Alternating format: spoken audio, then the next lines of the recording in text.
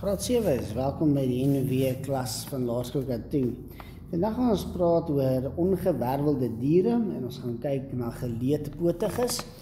OK, en die eerste dier wat ons nou gaan kyk is die duisendpoot. Dis nie noodwendig dat duisendpote letterlik 'n duisend pote het nie, maar kom ons leer baie van hulle. Ehm um, duisendpote het baie segmente. Hulle segmente is rond. Hulle bevat Hulle het dan vier pote op elke segment in hulle liggame. Hulle eet verrotte plante materiaal, so hulle is herbivore. Jy vind hierdie diere baie rondloop bedags en hulle hou daarvan om te skuil tussen dooie blare op die grondvloer. Nou okay, so dit dit is 1000 pote, 100 pote. Ehm um, het weer eens ook nie noodwendig 100 pote nie. Hulle het baie segmente wat plat is. Hierdie segmente bevat elkeen twee pote. Ehm um, honderpote is baie meer aggressiewe diere. Ehm um, insekte, hulle eet insekte, erkwurms, slakke. So hulle is karnivore en hulle word hulle is baie aktief uh, gedurende die nag. Ehm um, dis wanneer ehm um, honderpote baie aktief is. OK, so ehm um, die volgende dier wat ons nou gaan kyk is krappe. Krappe het 'n harde eksoskelet aan die buitekant. Hulle is familie van garnale, krewels en mossels. Pote, hulle het 10 pote waarvan die twee voorste pote dan hulle knypers is waarmee hulle hulle prooi vashou of vang. OK, hulle het twee oë wat op steeltjies voorkom Uh julle sal ook weet dat krappe verdeel word in 'n kop, borsstuk en agterlyf. Krappe beweeg sywaarts en gebruik hulle pote om baie rats sywaarts te kan beweeg. Uh krappe is karnivore en hulle hou daarvan om te aas. So hulle is ook baie goeie aasdiere. Ehm um, wat dan baie keer op strande op dooie visse en diere wat op die strand lê sal aas ook aan die bodem van oseane waar dooie visse dan gaan lê sal ehm um, krappe hou daarvan om hulle te op hulle te prooi. Ehm um, hulle monddele is skerre.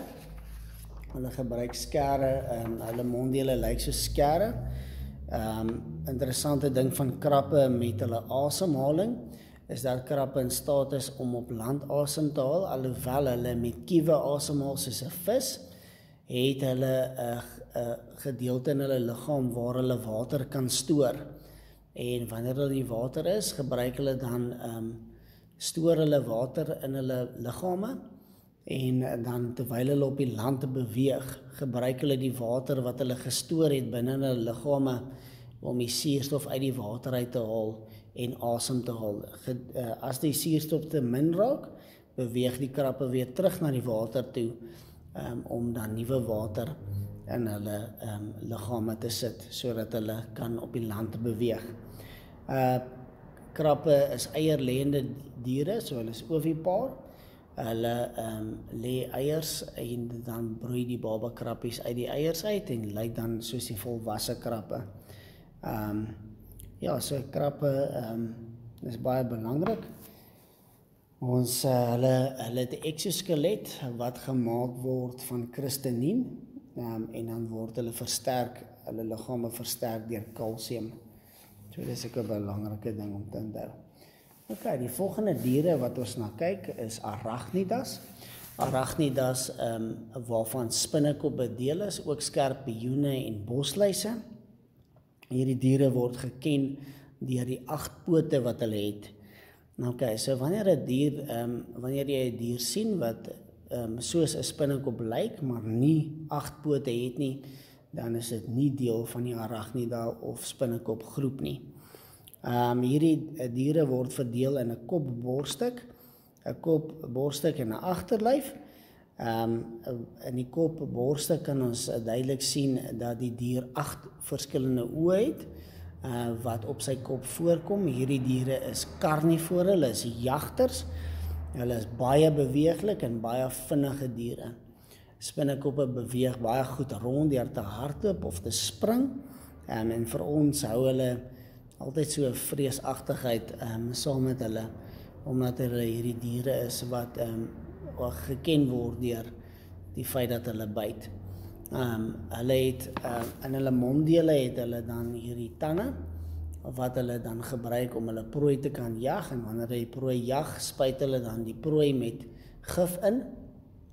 En die gif maak dan dat meeste kere die dier se ingewande oplos in 'n vloeistofvorm en ehm um, die spinnekop suig dan die insek of dier dan leeg. OK, so ehm um, in die agterlyf van die spinnekop uh vind ons dan sy longe. Ehm um, spinnekoppe het boeklonge. Ehm um, die boeklonge uh, kom in sy agterlyf voor uh, wat hy dan gebruik um, om meer asem te haal. So die lug gaan in die uh, boeklonge in en so gebruik hy dan die lug om asem te haal en suurstof na die res van sy liggaam te vervoer. Ja, spinnekoppe is eierlêende diere. Hulle lê eiers en die spin, spinnekoppe wat dan uitbroei, lyk dan soos die volwassenes. Ehm um, ja, spinnekoppe het 'n baie belangrike plek in ons ehm um, ekostelsel.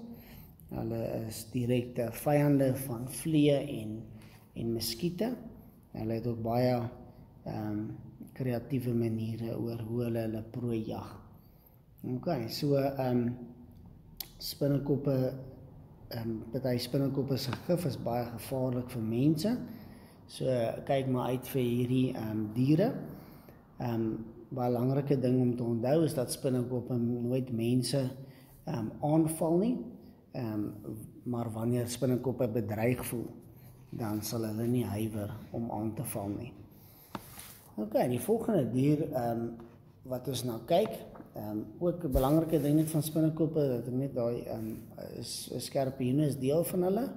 Um, ook geken deur die manier waarop hulle met hulle sterkte dan aanval. Die volgende dier wat ons nou kyk, is dan insekte en die insek wat ons nou gaan kyk is dan die sprinkaan. Insekte word geken deur die feit dat hulle 6 pote het. Nie alle insekte het vlerke nie, as ons byvoorbeeld die muur ook kan gebruik.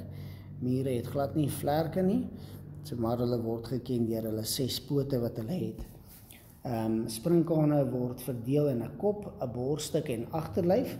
In die kop, borstuk of in die kop ehm um, het hulle hierdie voelers, ehm um, enkelvoudige oë. Ehm um, insekte het 5 oë, uh, waarvan twee van die oë saamgestelde oë is wat bestaan uit klomp verskillende oë. OK. So ehm um, die voelers gebruik hulle om te kan beweeg. Hulle het monddele, ehm um, hulle is herbivore. So hulle het hierdie monddele wat so skerre funksioneer. Ehm um, in die borstuk van die insek ehm um, kom um, kom sy pote bymekaar op sy ehm um, sy bene kom uit die borstuk uit, ehm um, baie baie sterk agterbene. Sy vlerke heg ook aan die borstuk vas, so die borstuk bestaan uit klomp baie sterk spiere. Hy het hierdie twee uh, vier prominente klein pote en dan twee prominente sterk agterpote. Sprinkane kan ook hoor, hulle kommunikeer deur geluide uh, hulle het so 'n membraan aan die agterkant van hulle lywe wat hulle gebruik om dan te kan hoor en te kan kommunikeer met klank. Ehm um, sprinkane het hierdie hy twee pare vlerke waarvan die boonste pla 'n paar die vlerke baie harde doppe het en die onderste vlerke hierdie vliesvlerkies is wat baie 'n dun en ligte vlerke is waarmee wat hy gebruik om dan mee te vlieg. OK, so ehm um, die agterlyf van die sprinkaan ehm um, kry ons uh, die stigmata waar die gaatjie wat die gaatjies is wat ehm um, aan die agter lyf is. Ehm um, dit is wat die sprinkaan gebruik om die asem te haal en die sprinkaan het ook 'n lêboor ehm um, wat hulle gebruik om te kan eiers lê die wyfie sprinkaan aan die agterlyf um, is baie keer waar die sprinkaan se eiers dan voorkom wat hy dan gebruik om eiers te lê um, met die leeboor. Wanneer sprinkaan eiers gelê het, ehm um, lê hulle die eiers in die grond, die sprinkaan se eiers broei dan daar uit. Ehm um, en ehm um, wanneer dit dan uh, deur die metamorfose gegaan het, ehm um, ehm um, kry ons eers dan die wat ons noem ehm um, sprinkane kan aanvanklik nie vlieg nie. Eventueel ehm um, sal hulle dan vlerke groei en hulle sal dan ehm um, dan kan loop. Ehm um, So kom ons kyk gou 'n bietjie na 'n ander insek, uh, die voortplanting uh, en ons kyk na die vlieg. Vliee lê eiers, uh, baie keer lê hulle eiers in jou kos omdat dit 'n vogtige en warm plek is. Wanneer die eiers dan uitbroei, is dit larwes. So dit is baie ideaal om dit in kos te lê sodat wanneer die eiers dan uitbroei, die larwes dadelik kos het om te kan eet. Nou oké, okay, die larwes ehm um, word dan eiers uh, wat 'n papie genoem word. Die papie ehm um, groei dan en eventueel kom die uh, volwasse vlieg dan uit die papie uit. Ehm um, so dit is die metamorfose wat 'n vlieg ondergaan. OK, die volgende dier wat ons na kyk is die slak. Uh slakke het 'n hydroexoskelet. Ehm um, aan die buitekant van hulle lywe. Um, hulle het ook 'n harde dop. Um, hulle het voelers, um, hulle het dan oë wat op steeltjies is. Um, wat hulle dan gebruik om te kan sien.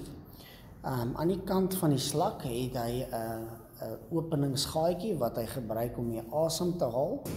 'n Slakke het 'n 'n voet waarop hulle beweeg. Terwyl hulle beweeg, sal hulle altyd 'n tipe van 'n slaim ehm um, los sodat hulle makliker op oppervlaktes kan beweeg. Slakke hou van vogtige ehm um, koeltes ehm um, waaraan nie baie waaraan nie blootgestel word aan direkte sonlig nie omdat hulle so 'n hydroexoskelet het. Hulle dan voelers en dan hulle het 'n T-vormige mond ehm um, wat hulle dan gebruik om ehm um, dan plante te eet omdat hulle herbivore is. Ehm um, nog 'n dier wat ons na gaan kyk is die erkwurms. Erkwurms het 'n baie belangrike plek in die ekosisteem. Ehm um, erkwurms het hierdie mikroskopiese haartjies op hulle vel. Wanneer hulle dan deur die grond beweeg, sal jy sien aan die voorkant van die erwurm redelik skerp is.